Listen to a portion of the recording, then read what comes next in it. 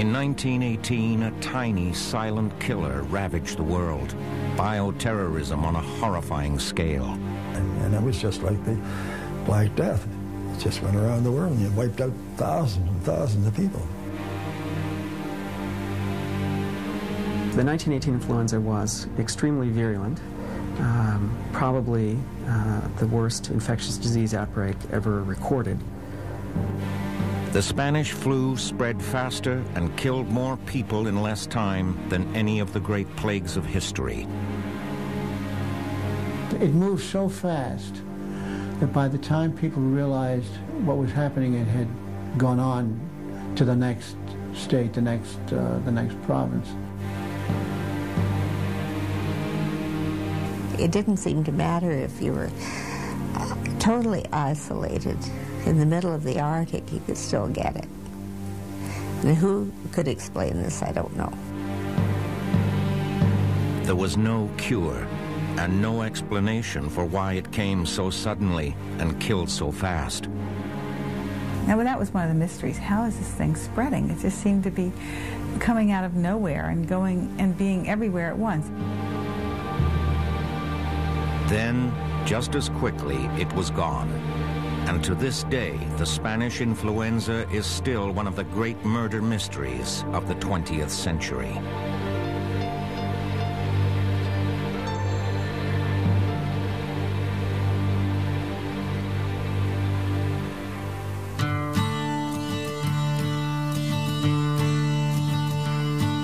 March 11, 1918, Fort Riley, an American forces base in Kansas.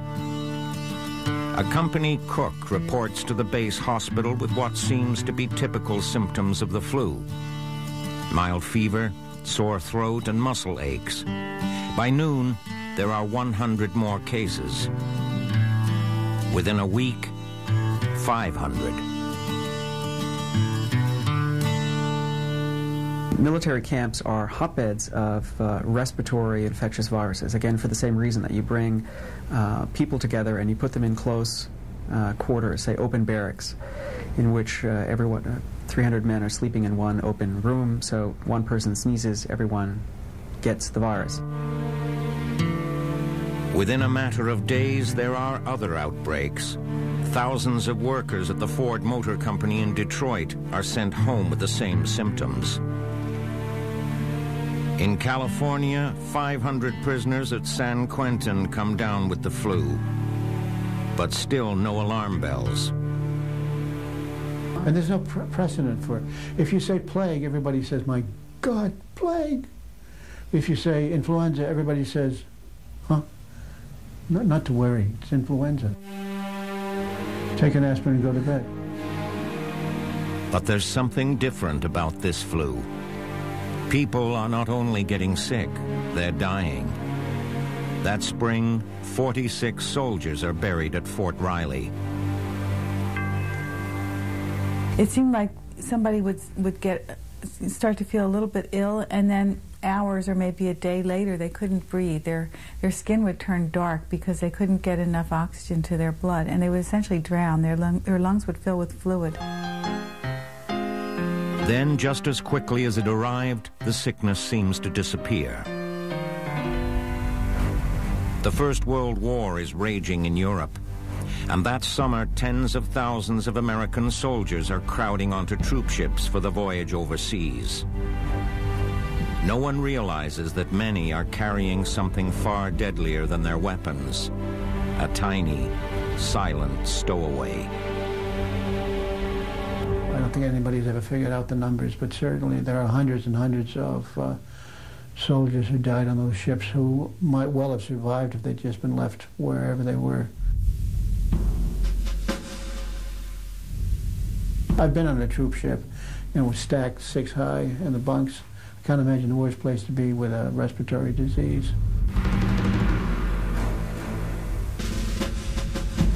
Within weeks, the Fort Riley sickness surfaces among the combat troops in the trenches.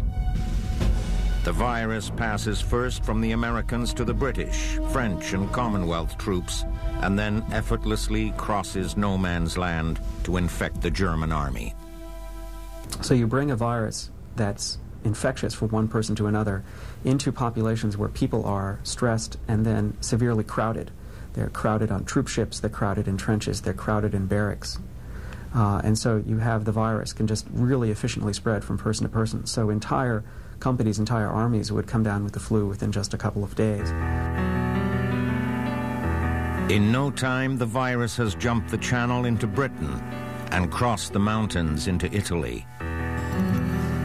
When it arrives in Spain, the epidemic is reported in the public press for the first time.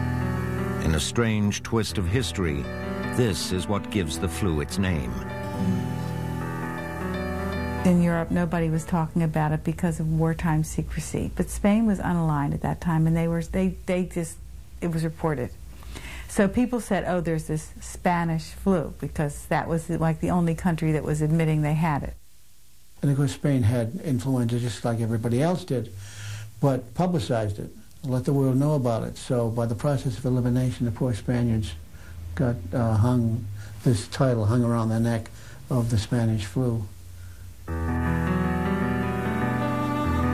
As it spreads through Europe, the virus mutates, grows stronger and more deadly.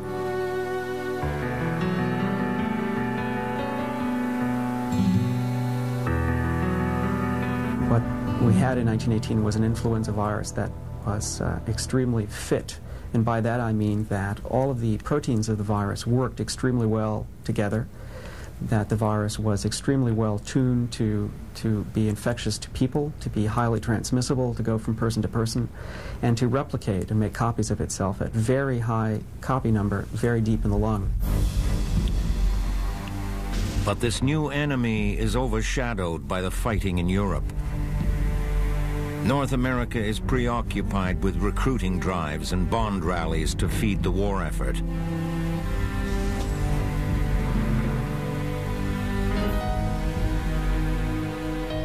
In the late summer of 1918, sick and wounded troops begin returning to North America. Many carry inside them a tiny killer, unlike anything the world has ever seen. At military camps all over North America, men begin dropping like flies. When you read what they said, it was it was so chilling you almost couldn't believe it.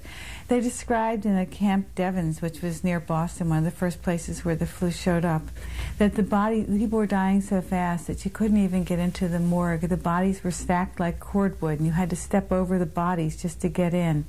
They said it took special trains to carry away the dead. At some camps, soldiers in the prime of life are dying at the rate of 100 a day. One anonymous doctor at Camp Devens is overwhelmed by the carnage. These men start with what appears to be an attack of la grippe or influenza. And when brought to the hospital, they very rapidly develop the most vicious type of pneumonia that has ever been seen. We used to go down to the morgue and look at the boys laid out in long rows. It beats any sight they ever had in France after a battle.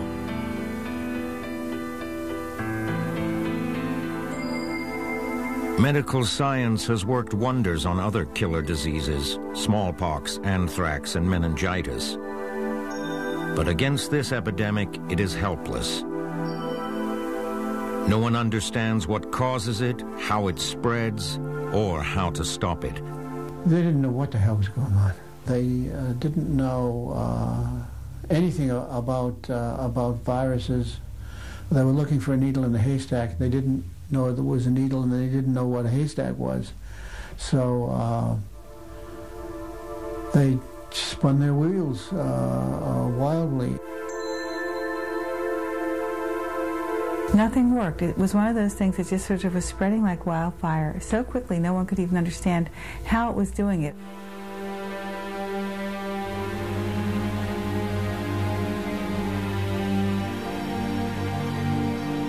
Most doctors conclude incorrectly that the culprit is bacteria. All they know for certain is that whatever it is, it attacks the most unlikely victims and kills them quickly.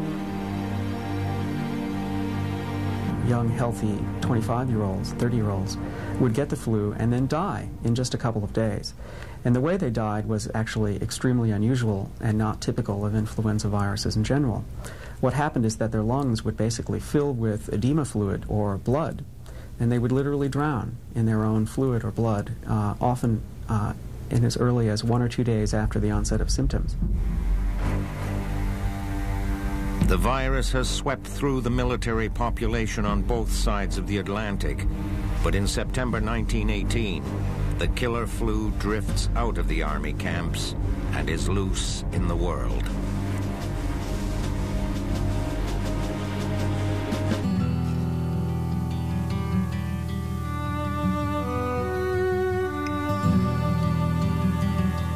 By the fall of 1918, Spanish influenza has rounded the globe in just four months and goes from epidemic to pandemic. It has already killed tens of thousands of people in its first wave. Now it returns to North America with greater fury.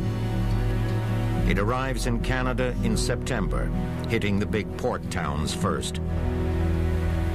The first civilian outbreak was in a college in uh, Quebec, Victoriaville, and two of the boys became ill and followed immediately after by 398 more. So the, the poor uh, heads of the school were at a complete loss, and they shipped them all off across the province if they were well enough to stand, and presumably they carried the flu germ with them. In a matter of weeks, flu is everywhere across the province. Thousands of cases crowd the hospitals, infecting nurses, doctors, and other patients. In Montreal alone, the flu kills more than 3,000 people. I can remember very, very clearly, for example, at that time when the flu that the people seemed to be dying all over the place. I I mean death seemed to be very commonplace. Tom Kierans was only five years old when the flu hit Montreal, and every day on his street there were two or three funerals. But I can remember playing with my my cousin, and uh, and suddenly I was told that he was dead and he was going to be buried. Returning soldiers, some of whom had survived four years on the battlefields of the Great War, now fall prey to an unseen killer. Geraldine Wakely's grandfather is one of them. He came back here uh, to work. He was an orderly, I guess, in the hospital, helping to take care of these men. And uh, he just picked up this disease from the men he was taking care of.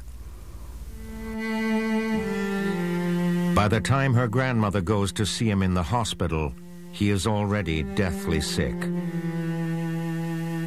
When he went in the hospital, I don't think he expected to come out because he wrote a, a, will at that time, willing his farm in Ontario to his uh, wife. And uh, he never he never saw her again. He, he told her not to come back because people were dropping dead in the streets, and he didn't want her there with the children. Eight days later, her grandfather is dead. There was this terrible irony of uh, servicemen who, who had experienced just appalling conditions during the war and dreadful wounds, and came home and got flu and died. Now that that was the ultimate irony, wasn't it? In Halifax, the epidemic is being fueled by the war effort. American troop ships en route to Europe stop here to unload thousands of soldiers too sick to make the crossing. They fill the local hospitals and further spread the flu virus. I remember Father coming home one day and he said, I think we're in for trouble.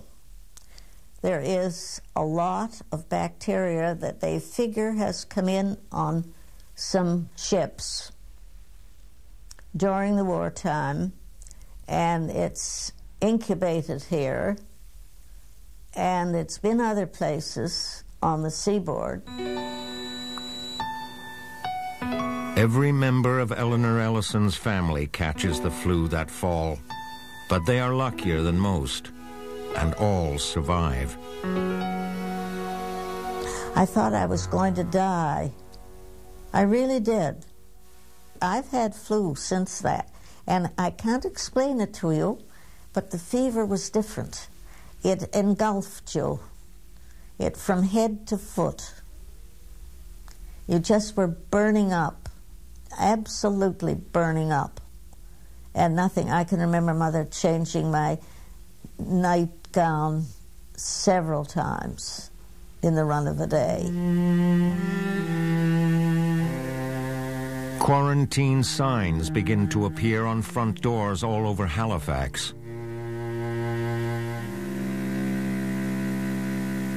I looked up and down the street, and it, practically everybody on the street was quarantined because it was highly contagious. But nothing seems to stop or even slow the spread of the deadly virus. It is so contagious that even the most isolated communities are not immune. The sickness comes to the native village of Okak on the Labrador coast on a supply boat. The Harmony was um, one of the uh, uh, ships that came from Europe with um, supplies, and she had brought a, a supply of, uh, I guess, the things people would need for the winter and had left late in the fall. And apparently, the, the story that my mother told me was that there was somebody sick on that uh, ship, on the Harmony.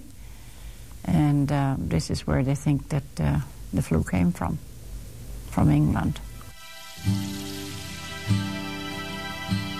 It took only a few hours to unload the stores and it was gone.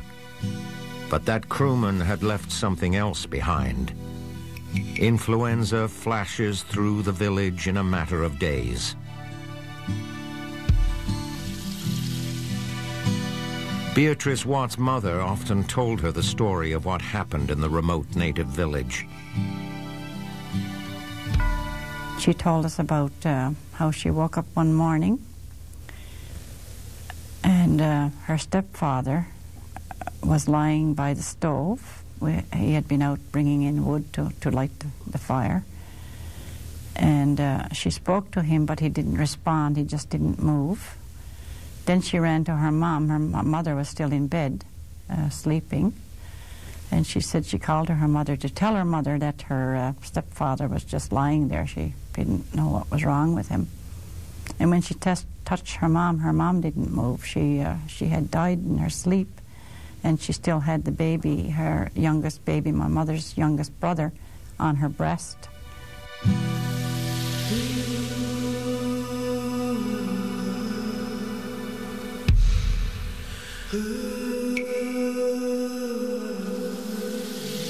And then so she said she uh, took the baby away.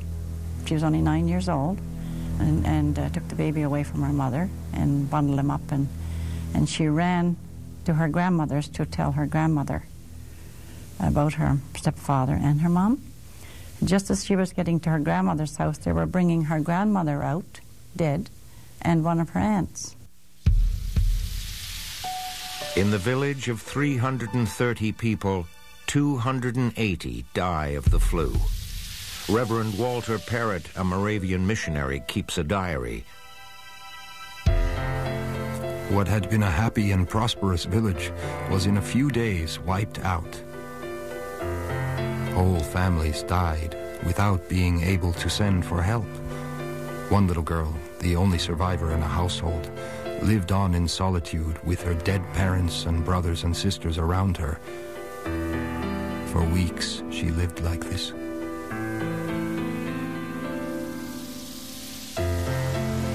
The flu flashes through native villages all over Labrador. Reverend Henry Gordon, another missionary, harnesses a team of sled dogs to bring food supplies to the isolated settlements. Paradise, once the largest settlement in the bay, is a veritable city of the dead. Many of the people are still sick. Not a sign of life to be seen anywhere. The first place I made for was Mountaineer Cove. There were once four families living there. I found the remains of one. All the rest were dead.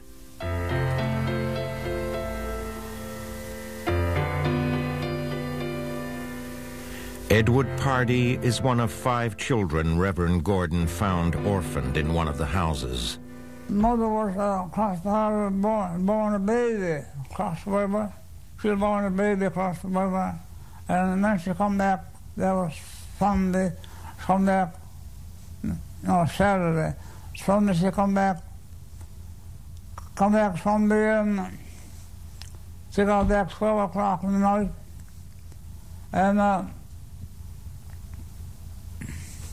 she come in and she leaned, leaned on the table. When she leaned on the table, she fell back, fell back on the floor dead. Yeah. So it just as that. So uh, those men up the river come down and, put it up in the porch. Said, boys, be good to your father. Says, that's the best word I her say. Yeah. Whenever, whenever I had a chance to be good for a father, got six months, six, six hours after he died, huh? Never forget. Never.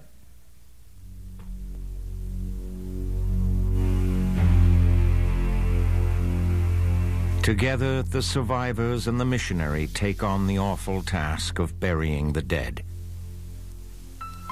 The frozen ground and their own weakness prevented the digging of graves. They buried the bodies in the sea through a grave-like hole cut in the ice and set fire to the deserted houses to get rid of the infection. In a grisly turn of events, the survivors are forced to destroy hundreds of sled dogs.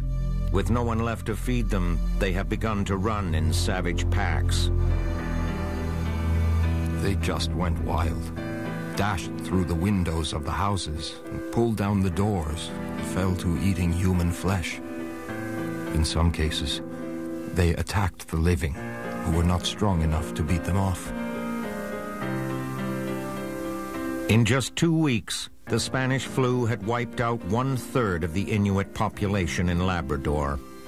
The village of Okak is abandoned and never resettled.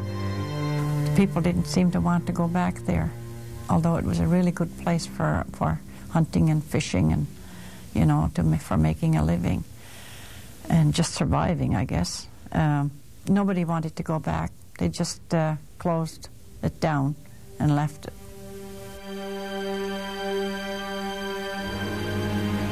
By October 1918, virtually every town and village in North America is under siege.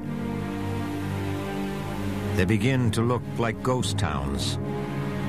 Afraid to venture out, people shut themselves in their houses, and businesses are forced to close their doors. Theaters suffered, and schools, even churches. Uh, there was one point where um, where the Roman Catholic priest in, I think this was in Montreal, walked along the street and blessed people because they were not able to meet in one big place. In Montreal, the flu is killing people at the rate of 165 a day. In Toronto, a special trolley car is adapted to carry coffins to the cemetery because the hearses can't keep up. In Philadelphia, 700 people die in a single day in October. Victor Vaughan, the Surgeon General of the U.S. Army, concludes. If the epidemic continues its mathematical rate of acceleration, civilization could easily disappear from the face of the earth in a matter of weeks.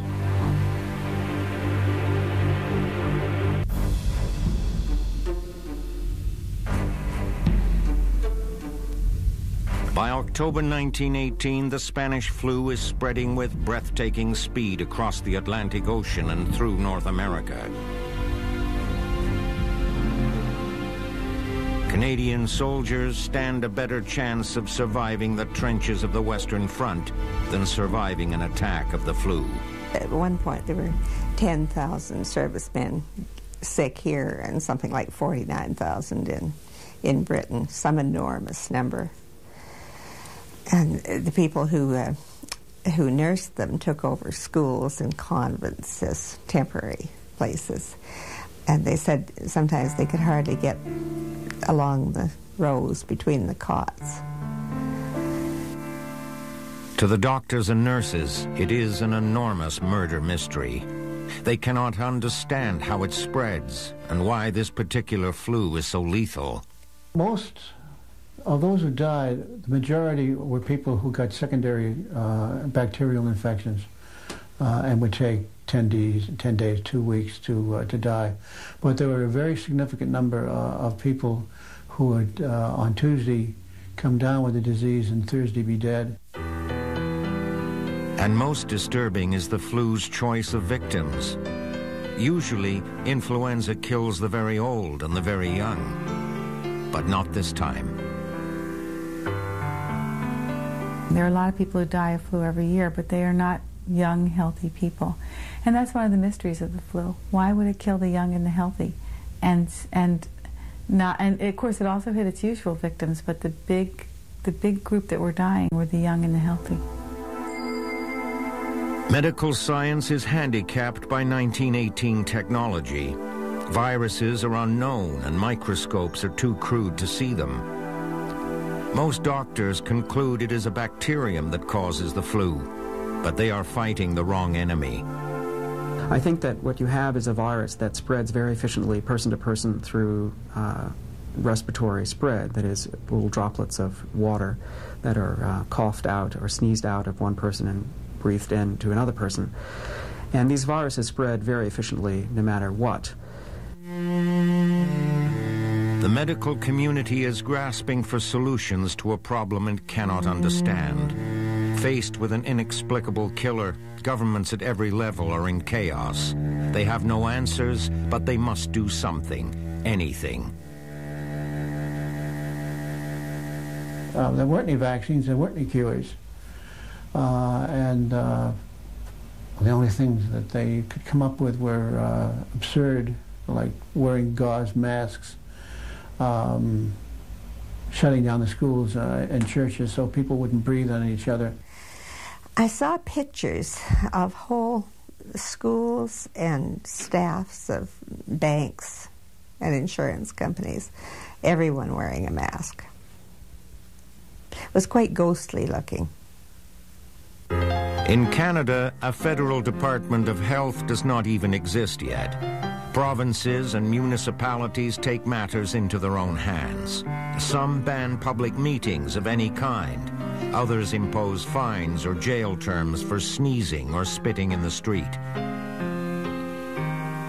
Every day there are rumors of some new wonder cure, and hucksters prey on people's fears to sell everything from galoshes to Ovaltine. There's um, a commercial reaction to any sort of a crisis. And uh, medications were, were uh, produced and peddled that were, you know, guarantee you uh, recovery from the disease. or You won't even uh, get the disease, and they're all absolutely and totally useless. Equally worthless are the dozens of folk remedies that circulate. Bags of mothballs or camphor worn around the neck, goose grease, castor oil, or turpentine. They sprinkled sulfur in their shoes. They carried uh, pans of sulfur through the house, lit. Uh, that was to purify the air. Some people said uh, a salt herring tied around the throat would cure. They mixed sulfur with molasses and made sulfur and molasses kind of a, a light yellow colored that tasted pretty good. And actually, you could eat that with uh, in a, with a spoon or or, or a piece of bread. Another remedy that uh, I was told about was uh, about dipping a needle into the scent gland of a skunk and stirring the needle around in a glass of water and drinking the water.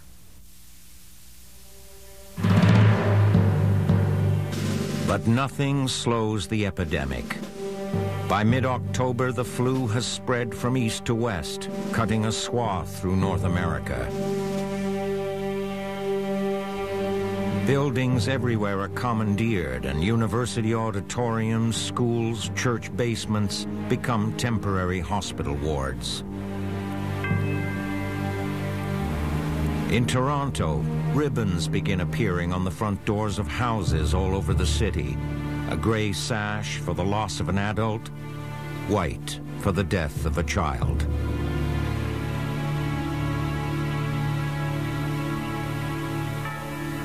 It was a very random thing. It might uh, uh, hit one house in a city block and no others, or it might take almost all the houses. Uh, hearses went up and down the streets, and one woman talked about um, hearing the cart rattling at night. It sounded sort of like the French Revolution. Uh, uh, they were carrying away the, the dead.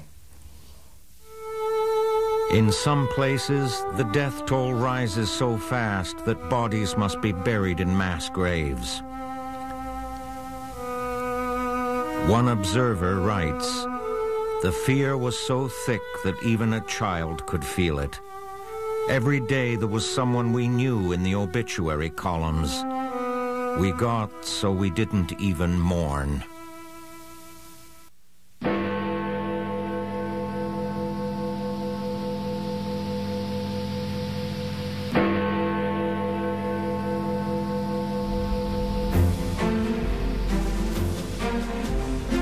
Armistice Day, November 11th, 1918. A sense of relief sweeps over the world as news comes that the Great War is finally over. All over North America and Europe, there are victory parades and celebrations in the streets. I can remember, five years old, looking from our top veranda on the third floor at 195 LaPorte Avenue, looking down on the street. And my mother and my Aunt Lena, both young women, relatively young women at the time, uh, linking their arms and dancing together in the street. There was such joy that the war at last was over. But there is no peace in the war against the flu.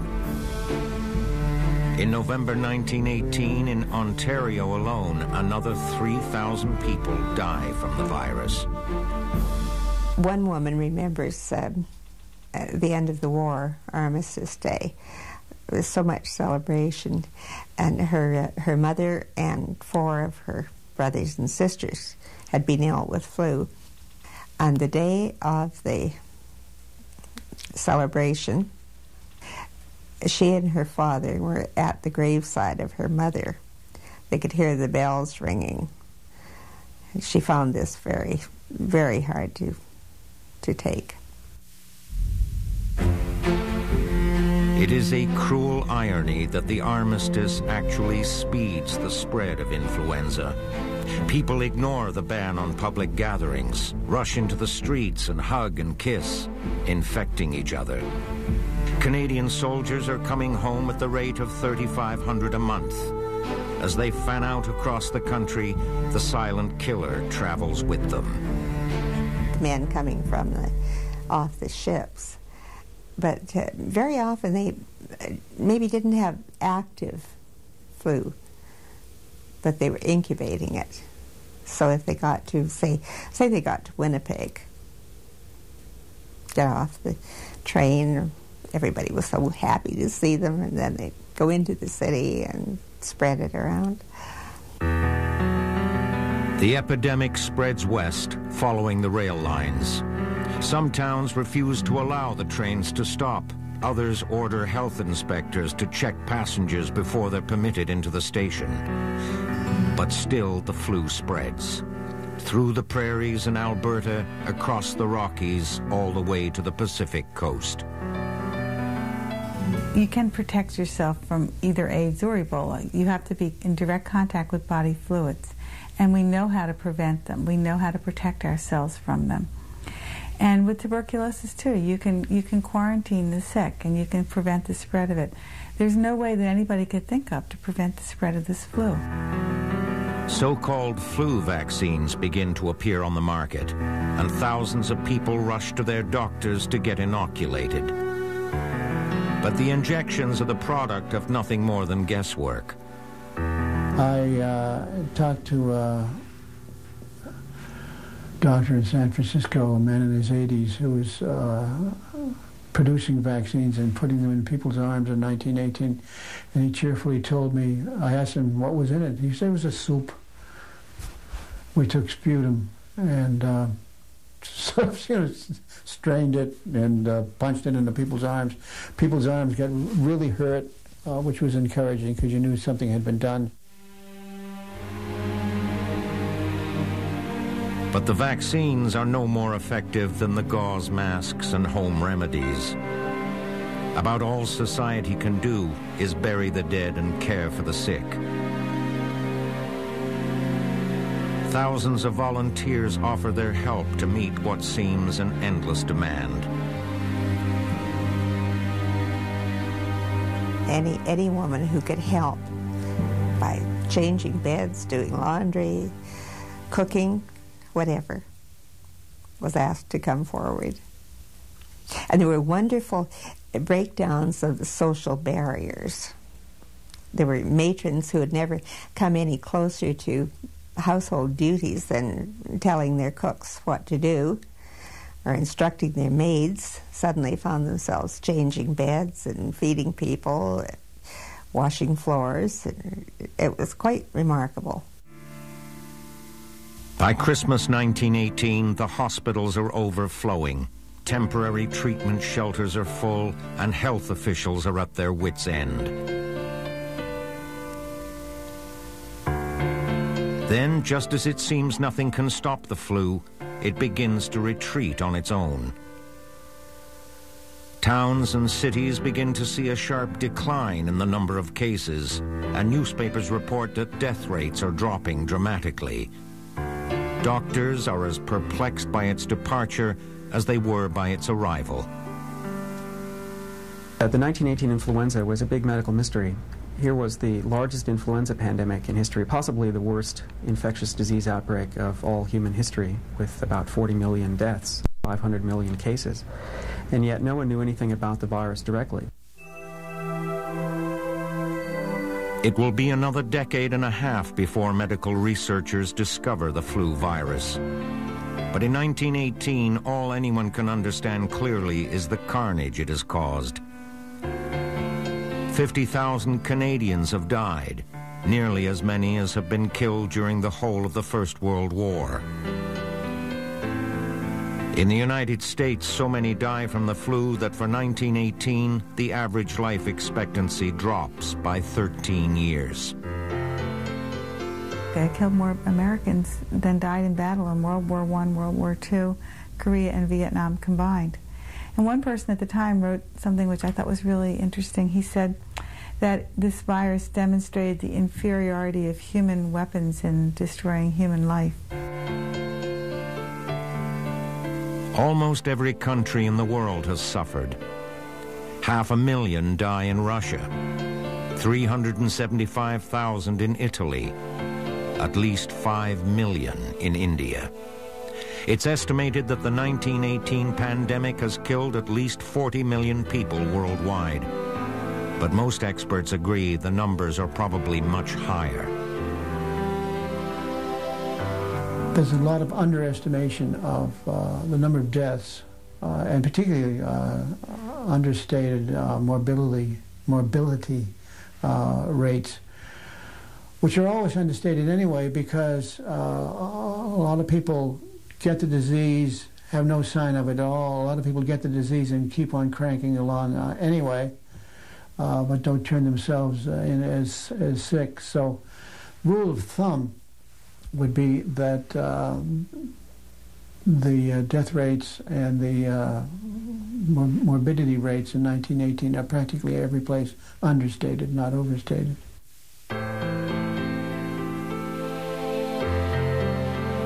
Even by conservative estimates, the 1918 influenza killed more people in a shorter period of time than any disease in history. And no one yet knows why it was so deadly. The records indicate there is another pandemic coming. The question is when.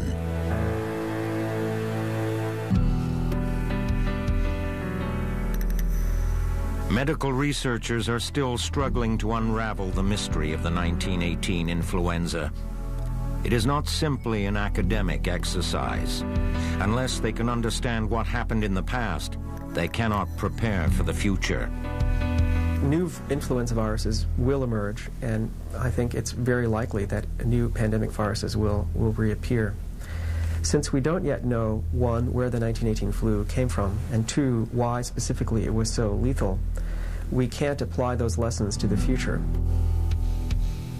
In 1997, two separate scientific expeditions set out to find tissue samples containing genetic material of the 1918 virus.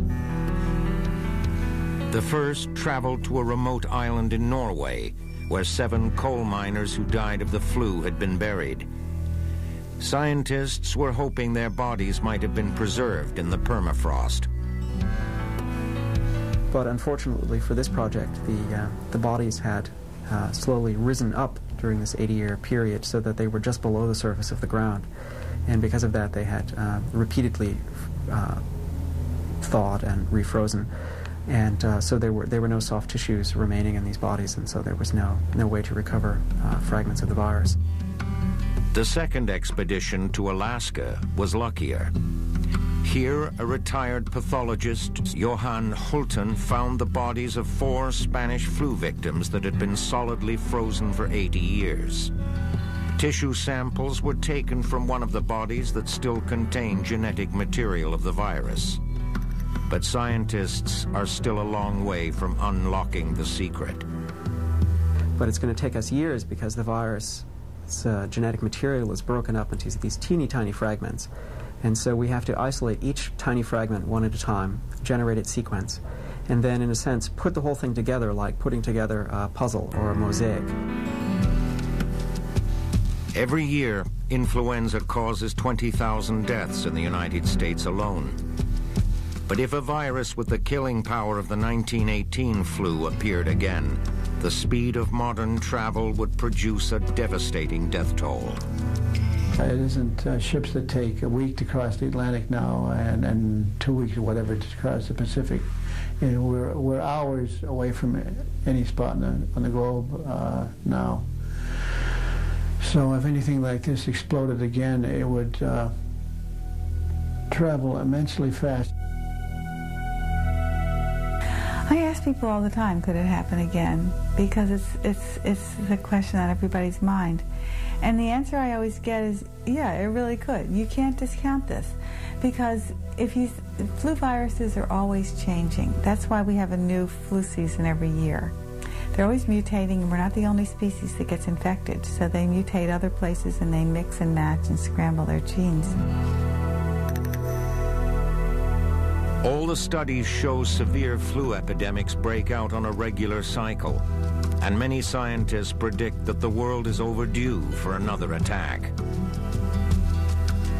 Uh, much of the world's population lives in conditions not significantly different than they were in 1918. So I think if an influenza pandemic of the magnitude of 1918 were to reoccur, I think that we would be looking at uh, very similar percentages of uh, illness and death, which is uh, uh very depressing and uh, also very scary. It's sobering thought. Influenza is so transmissible that it will sweep around the world, uh, and you know, it can, can do it again uh, tomorrow. It can do it again uh, today. The only way to stop influenza from moving across the world is people got to stop breathing or all crawl into holes and stay there, and that's not going to happen.